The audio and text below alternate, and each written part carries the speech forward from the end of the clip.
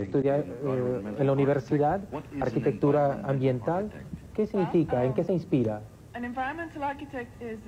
Un arquitecto ambiental es un arquitecto que crea espacios humanos, de calidad humana, pero que integran en la naturaleza en su interior. Uno siente la naturaleza, uno puede sentir la lluvia y, ¿por qué no las flores? El color de las flores en los interiores.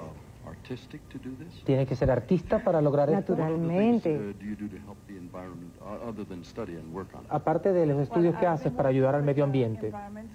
He estado trabajando con ecólogos en mi país y cuando yo regrese voy a empezar a preparar se me olvidó la palabra, caramba. No te preocupes,